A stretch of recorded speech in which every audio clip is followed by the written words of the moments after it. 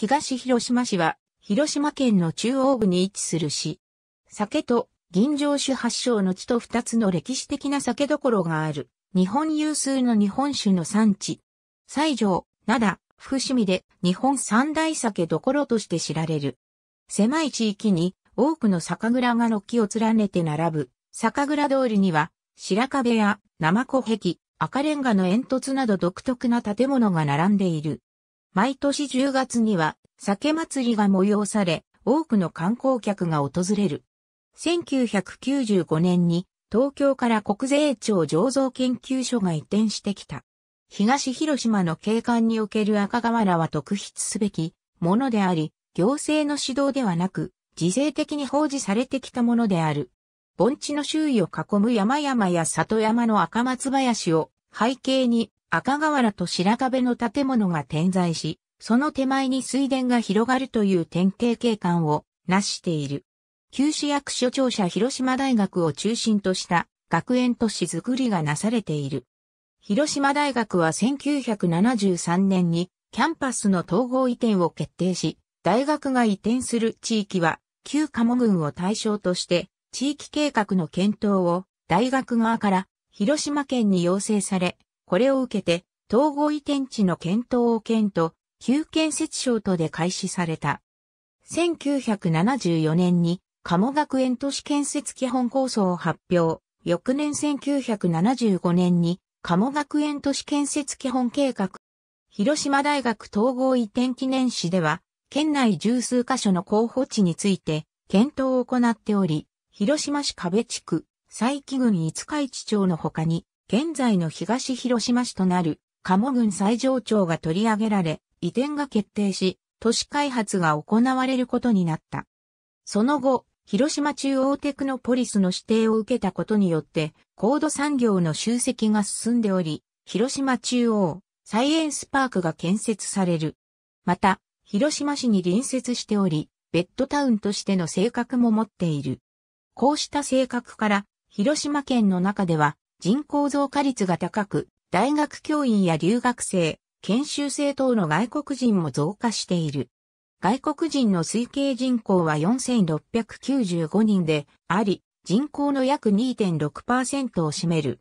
鴨学園都市で地域振興整備公団が担当した地方都市開発事業の事業採択面積は500ヘクタールであり、広島大学のキャンパスが約300ヘクタールで、さらに約200ヘクタールの整備区域を必要としたため、高谷地区の丘陵部が開発され、高見が丘が生み出されている。都市計画道路最上駅大学線地区は、沿道は公共施設の建設に赤瓦などを用いた点が評価され、1997年に都市景観大賞に選定されている。地域は瀬戸内海沿岸から中山間部にまで渡り、標高差が大きい。県で最も広い盆地である最上盆地を中心にその周辺に点在する小盆地から構成される。東へは沼田川、南へは黒瀬川、西へは瀬野川と各河川本流の源流となっている。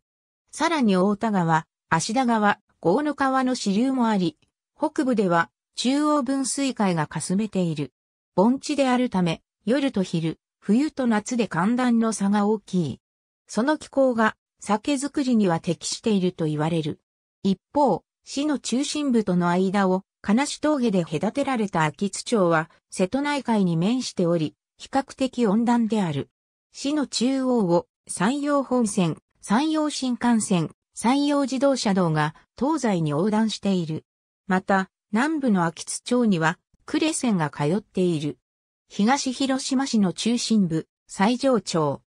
市役所10階から眺めた西条駅前。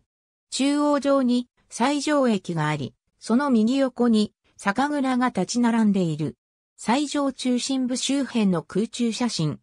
2005年6月9日撮影の2枚を合成作成。国土交通省国土地理院地図。空中写真閲覧サービスの空中写真をもとに作成。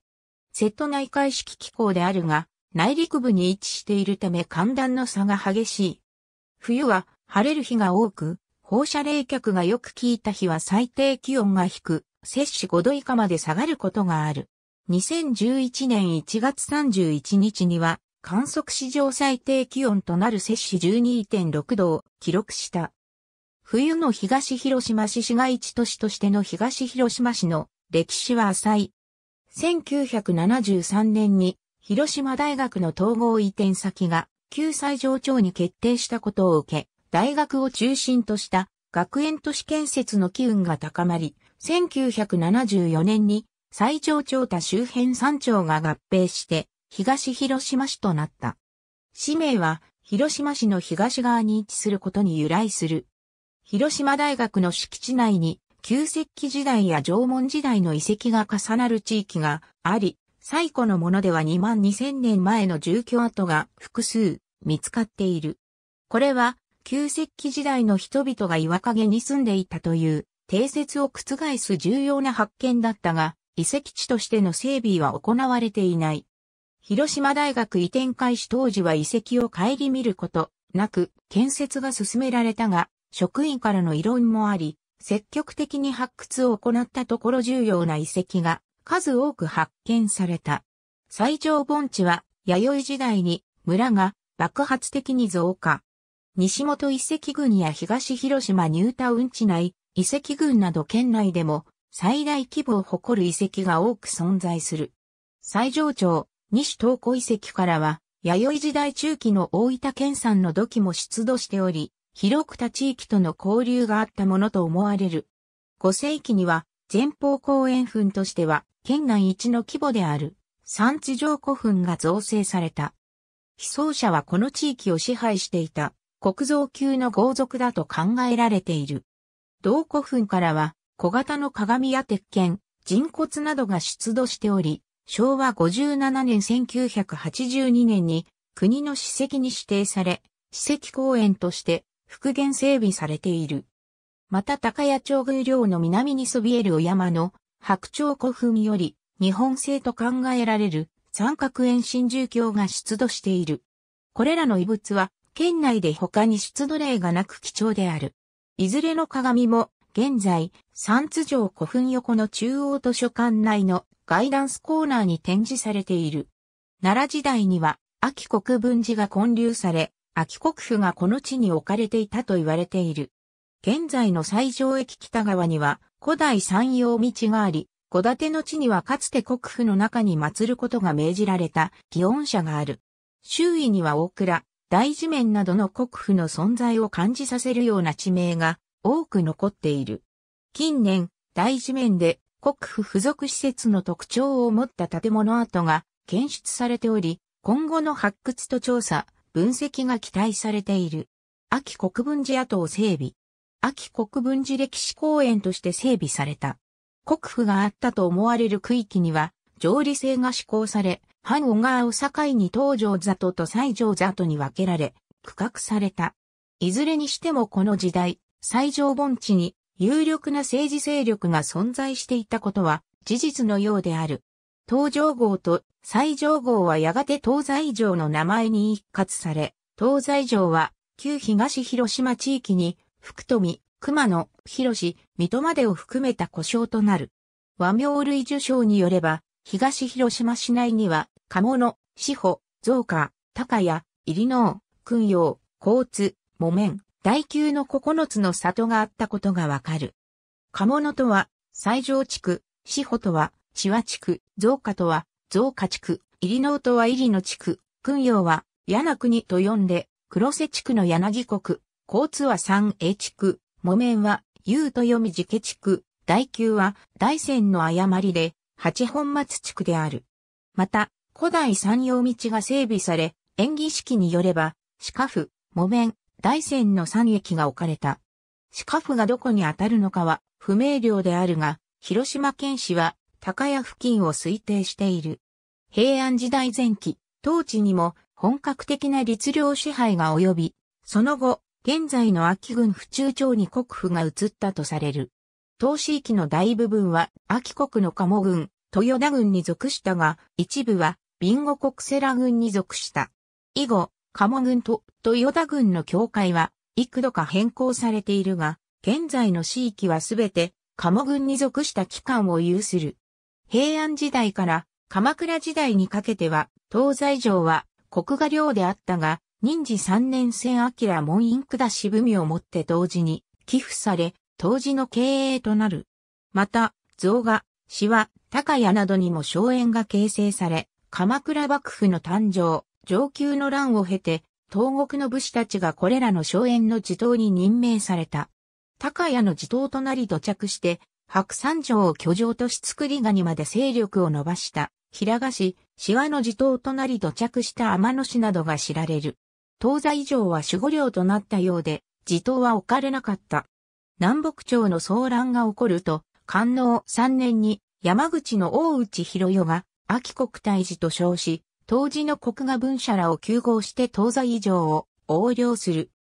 常時3年に幕府と和解するが、守護人や国人の反乱に手を焼いた幕府は、大内広代に、大安元年に、当時雑省の沙汰でご教書を出し東西城の平定を命じ、これを口実に、大内広代が東西城を制圧する。大内氏は、秋国支配の拠点として、西城味噌の境に、鏡山城を築城し、西城と瀬戸内海を結ぶ黒瀬川沿いに連絡道と城西網を築き上げた。大内氏の東西城支配は200年余りに及んだが、戦国期に台頭した毛利元就によりこの地は毛利氏が支配する地となる。毛利氏が関ヶ原の戦い後に傍聴二国に移された後は福島正則、そして浅野家の領地となった。江戸時代になると東西城は西国街道の宿場町として栄え、四日市塾の本陣は藩内最大の規模を誇った。東は古川、西は藩小川に挟まれた範囲を西城四日市塾という。西城の酒造が始まったのもこの頃だが、この時期には全国的に名が知られたわけではなかった。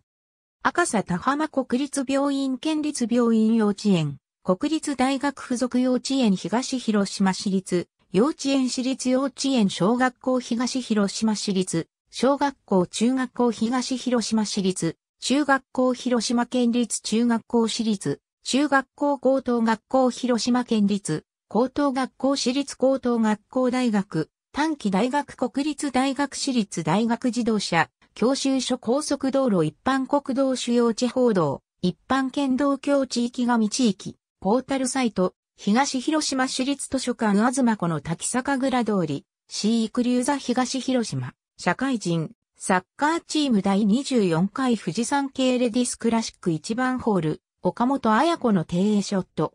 ありがとうございます。